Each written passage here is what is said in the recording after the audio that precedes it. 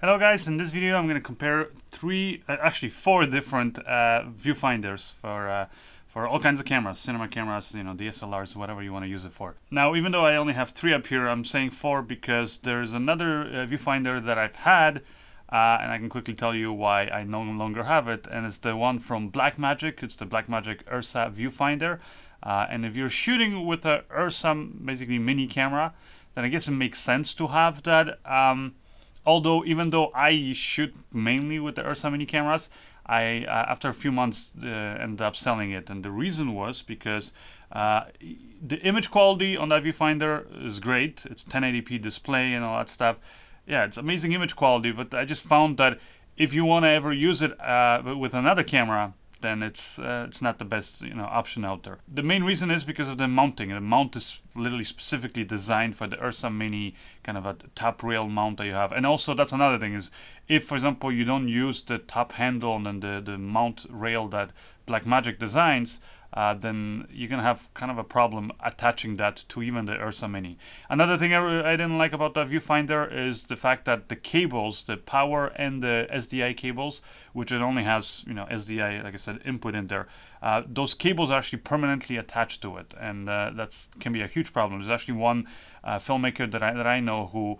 Uh, after months of using the viewfinder, like he loved it, but basically one of the cables, because you know you're bending, you're moving it, uh, when you're working with it, and the cable just broke, and then the whole viewfinder is useless. So I, I really don't think that was a smart design uh, on, on Blackmagic's part.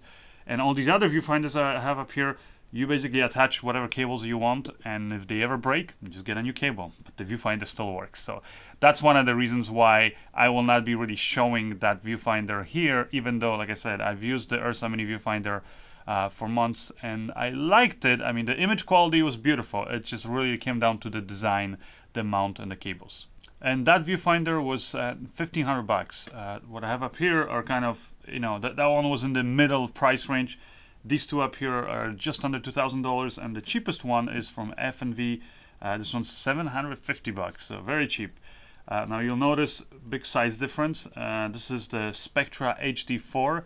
Um, viewfinder you can call it slash uh, a, a, display really because really what it is and that's one of the reasons why it's so big it's actually a, an LCD basically that you can use because it just pops up open and you have your display up here uh, 720p resolution uh, now still you know really nice image quality but when you compare it to these other ones here which are full 1080p resolution then you'll notice it, it's not that much of a difference because again it's a small scale but you'll notice that uh, it's just a tiny bit not as sharp as the other ones but you can definitely still pull focus with it no problem. And I'm only saying that that's when you have the loop basically here on top of it.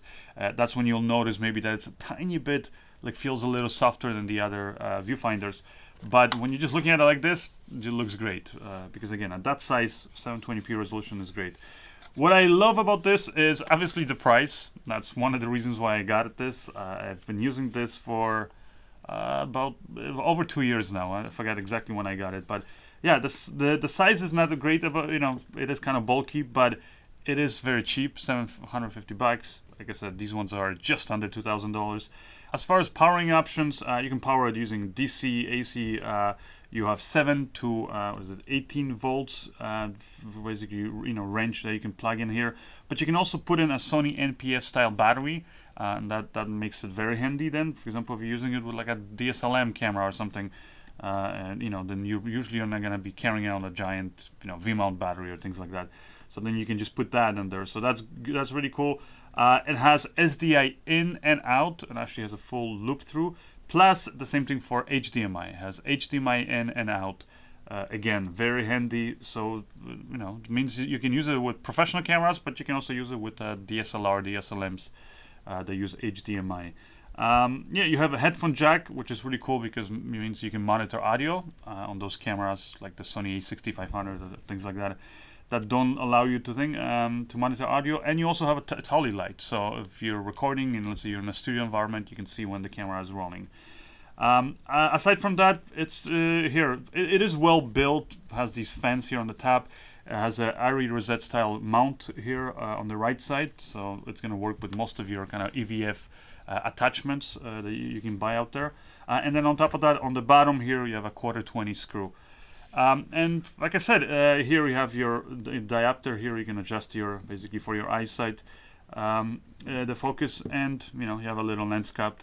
And as far as uh, like I said, functionality, it actually for the price, it's surprisingly has a lot of uh, really cool functionality. It has you know aside from zebras and like the, the you know focus peaking and things like that, uh, you can actually uh, turn on a waveform which not every viewfinder or monitor these days have, has it.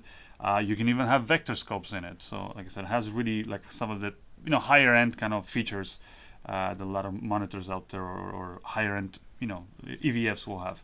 So if you're looking for a budget you know viewfinder and you don't mind the fact that it is so big and bulky, um, you know, and but you also want to have the option, like I said, of using it maybe as just a monitor. Uh, if, and you care about all those extra features, then um, then I, I, think that's this is a, a, great option.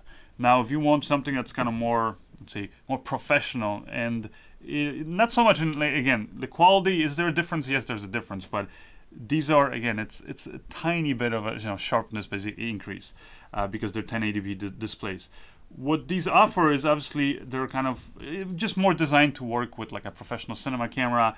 They're smaller, you know, and because of that, they're again just just easier to work with than having this big thing.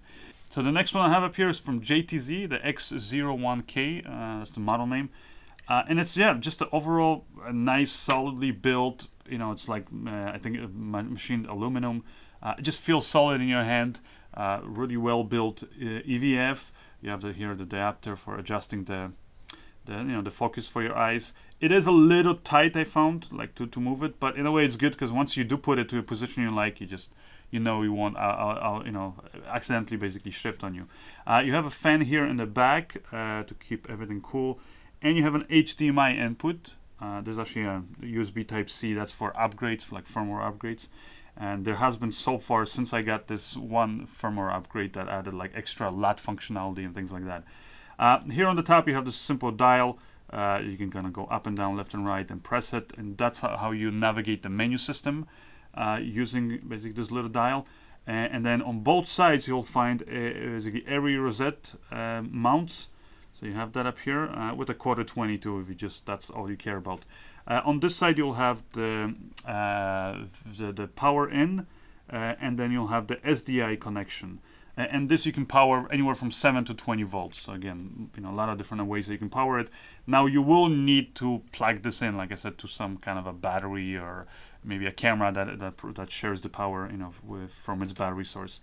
Uh, so that's something to keep in mind. But again, this is designed for more cinema cameras and all cinema cameras will have that what do I think of the quality of this? The quality of this is top notch. It's just as good as the, the one from Blackmagic, they said, or the one I have up here, which is the Gratical uh, from uh, Zacuto. Uh, beautiful quality. I really didn't see a difference in, in when it comes to quality. Uh, and uh, and it's really actually cool when you consider what you're getting with this. Uh, because you're getting actually a whole case and along with that case, you're also getting uh, the mount and actually all of the like EVFs that you see me here using in these shots uh, the mount actually is the mount that came with this. So it comes with the most things. It comes with mount, comes with cables, comes with different power cables, you know, like I said, video, uh, SDI cables, like all that stuff. So you pretty much, when you buy this, you have the whole package. You kind of don't really have to buy any other accessories and you can start using this right away. Uh, so th that's really cool. Uh, and the mount, like I said, is actually a very handy mount. I, I use it now on my cinema cameras whether I'm using this EVF or the other one or, or, or the one from Zacuto, they're all the same basically. The the, the, the mount is going to work with all of them, and it's a very versatile kind of you know mount that allows you to, to mount it pretty much into any position. Now, is there anything bad I can say about it? Uh, not really, to be honest. Uh, the software, like I said, it's uh, it has a lot of features. You can do load and custom LUTs. Plus, it comes already with a lot of LUTs like the V-Log, S-Log, C-Log, that you know the most standard kind of log to, to video kind of profile LUTs.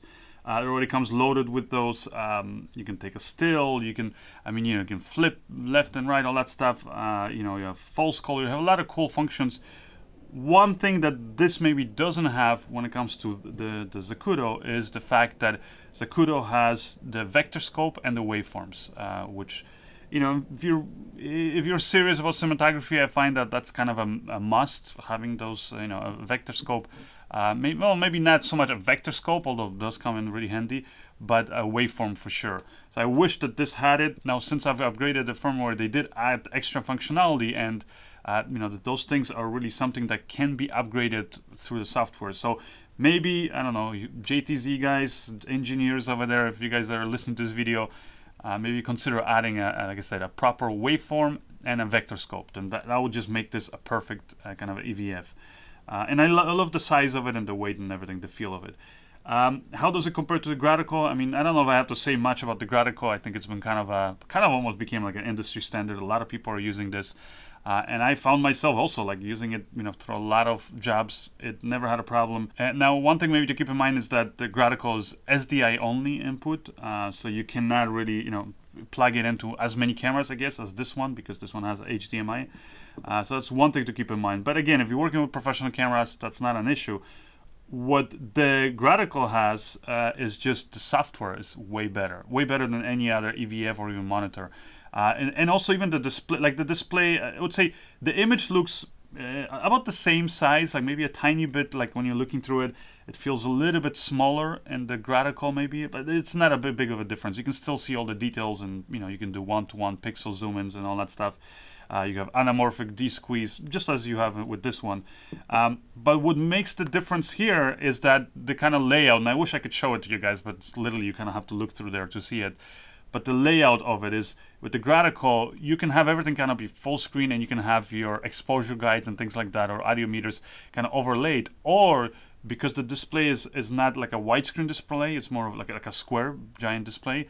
What it means is that you can have your image kind of on top and on the bottom, basically since nothing is obscuring your image, you still have all your information, whether it's audio meters or, you know, you can have the vector scopes, which again, this one has the waveforms like and you can customize how you want to see those vector scopes and waveforms and all that cool stuff.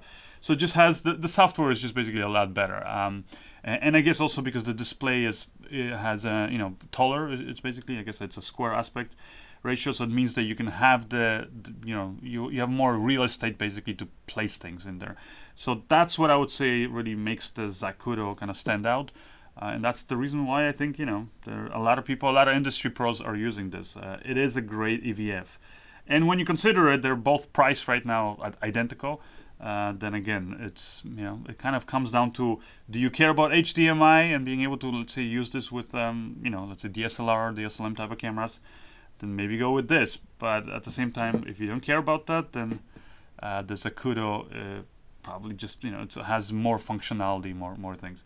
Now, as far as just the image quality, they're, they're both amazing. They really did not see a difference there.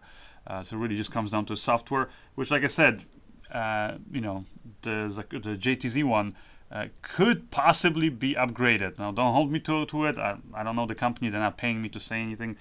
Uh, like I said, this is just one of the EVFs I have, and I'm hoping it would be nice if they added, uh, you know, the, like upgraded the software so you have those mainly, like I said, for me, it's just the, the uh, you know the waveform and the vector scope. Uh, with the Zacuto also, like I said, software is amazing. You can load in LUTs, things like that. Um, the, the, flap is actually pretty nice because you can kind of keep it in there and you can use it with it. But when you let go of it, it just kind of closes. So you'll never run into danger of like, you know, or basically with all EVFs, you never want to leave them where the sun can go directly through the lens because you know, then concentrates the light and will just burn your your uh, image thing, uh, basically display there. With this one, you kind of have to be careful because there is no cap under, so you know, make sure you always point it down or something so you don't have the sun uh, basically shining through there. Um, as far as the build, as you'll notice, the size is pretty much identical. Like the, the thing, I mean, the Zacuto maybe is a tiny bit kind of wider, not much of a difference because it's in the shape of a bowl, but then it's narrower on the bottom. So again, pretty much identical. Weight is almost identical to, uh, I don't know if there is any difference. So in that sense, because the price, and all that stuff is, is very similar. It just I just wish that the JTZ would offer those extra features. Then it would be, uh, I, I, think, a better deal simply because then when you buy this, you get, like I said, the case, you get all the, the mount for it, you you get, uh, uh you know, the, the articulated arm, cables, all everything. With the Zacuto, when you buy it, you don't get really anything. Uh, so you do have to buy your own you know, obviously, you know, SDI cable, but even your power cable, it's, it's a two, two pin LEMO connection. So it's easy to get, but like I said, you just have, it's something you have to buy. Again, with the JTZ, you don't have to buy anything extra. So, you know, is that going to make a big difference in your purchasing uh, decision? Uh, I guess, you know, that's up to you. Uh, but yeah, that's pretty much it, kind of what I'm thinking about, uh, you know, when it comes to my final opinion. If you want something professional or more kind of cinema kind of cameras, I think these two are great options. If you want something on a budget and something that uh, maybe that you can use, like I said, as a monitor, also with your DSLRs and all that stuff, and I think this one is the best suited, uh, the Spectra HD4. Anyways, this is my review of the, the different viewfinders that I have up here right now, and uh, hopefully you guys found it useful. If you did, uh, and you want to see more videos like this, reviews, tips, techs, tutorials, even uh, lighting lighting tutorials, stuff like that, uh, then best thing to do is go to my website, subscribe to my newsletter. You'll get a free gift in return, lots I'm giving away. Uh, plus, you'll find a whole bunch of, like I said, stuff on my website, and you'll be notified through email uh, when I do upload another video, or if I just have uh, articles and things like that that are exclusively on my website. So uh, go uh, follow the link in the description of this video for my newsletter. Anyways, bye guys. I'll see you in the next video.